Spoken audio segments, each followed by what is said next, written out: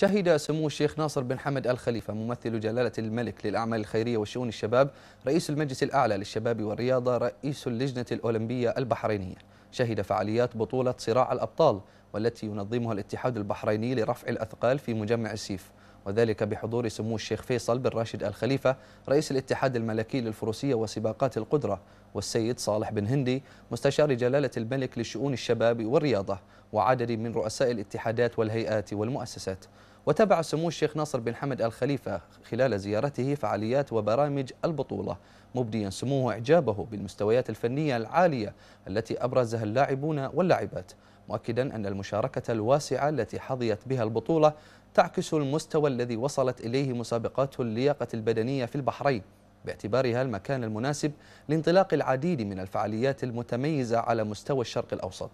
وأشار سموه إلى أهمية تنظيم مثل هذه الفعاليات والعمل على تشجيع المواطنين والمقيمين على أرض المملكة لممارسة الرياضات الخاصة باللياقة البدنية وتحفيز اللاعبين ومتابعيها إلى جانب دعم المراكز المختصة من خلال تنظيم البطولات.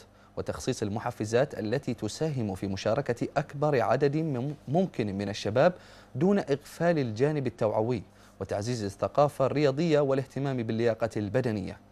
وأضاف سمو الشيخ ناصر بن حمد الخليفة أن ما يميز بطولة صراع الأبطال هو المشاركة الكبيرة من قبل مختلف فئات المجتمع في مسابقات خاصة بالأطفال والشباب والكبار الأمر الذي يؤكد أن البطولة تحمل أهدافا بعيدة ونبيلة في إرساء ثقافة الممارسة الرياضية بين جميع فئات المجتمع واعتبارها أسلوب حياة للجميع لما لها من أهمية بالغة على صحة الإنسان مؤكدا على أهمية مواصلة استضافة وتنظيم مثل هذه الفعاليات لتأكيد مكانة البحرين في استضافة البطولات ونشر الوعي الرياضي. وأعرب سموه عن تقديره للجهود الكبيرة التي بذلها معالي الشيخ عبد الله بن راشد آل خليفة نائب رئيس الاتحاد الدولي لبناء الأجسام رئيس الاتحاد الأسيوي لبناء الأجسام واللياقة البدنية رئيس الاتحاد البحريني لرفع الأثقال رئيس اللجنة المنظمة العليا لبطولة اللياقة البدنية صراع الأبطال. واللجان العاملة بالبطولة من أجل استحضار كافة مقومات النجاح للبطولة الأمر الذي ساهم في إظهارها بالصورة المتميزة. وأثبتت قدرة الشباب البحريني على التنظيم الباهر لمختلف الفعاليات الرياضية. وفي ختام المنافسات قام سمو الشيخ ناصر بن حمد الخليفة بتتويج الفائزين والشركات الراعية لهذه البطولة.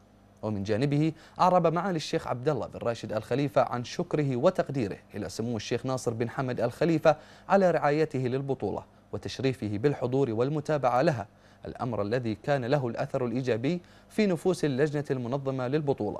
وجميع المشاركين فيها مؤكدا أن تواجد سمو الشيخ ناصر بن حمد الخليفة ومتابعته للبطولة تعطي الاتحاد البحريني لرفع الأثقال دافعا من أجل مواصلة تنظيم واستضافة مختلف الفعاليات الرياضية.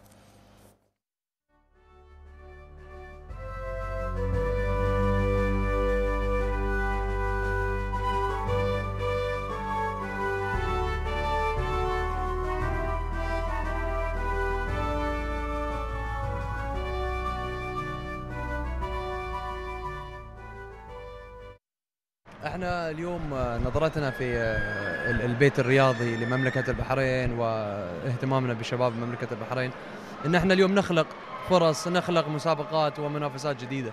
وهذه اليوم الأولى من نوعها. هي صحيح إنها كروسفيت ولكن كبطولة وكأجواء وفي محل في مجمع السيف التجاري فيعني خلقت أجواء وصار في مشاركين من الخارج. يعني الحمد لله على كل حال تنظيم ممتاز. ومشاركة البحرينية ممتازة ومشاركة ال ال ال ال الناس اللي من الخارج بعد كانت يعني مبهرة. فالحمد لله على كل حال ما راح تشوفنا إن شاء الله في تطور. بسم الله الرحمن الرحيم. طبعا تأتي هذه البطولة تنفيذا لتوجيهات سمو الشيخ ناصر بن حمد اللي كانت لسموه الفكرة الرئيسية والأساسية في تنظيم هذه البطولة.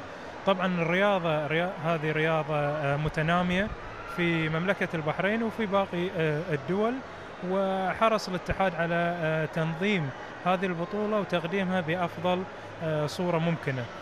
طبعا المشاركين كانوا 95 مشارك من مختلف الدول وحرصنا على أن تكون أو يكون هناك طاقم تحكيمي من البحرين ومن خارج البحرين. ولله الحمد كان في تعاون كبير من قبل إدارة مجمع السيف لاستضافة هذا الحدث بهذا الحجم وبهذا الشكل في نسخته الأولى. وبإذن الله راح يعمل الاتحاد على تنظيم مسابقات في اللياقة البدنية في المستقبل القريب أيضا. وإن شاء الله أن هي تكون بطولة سنوية وبحجم أكبر بإذن الله.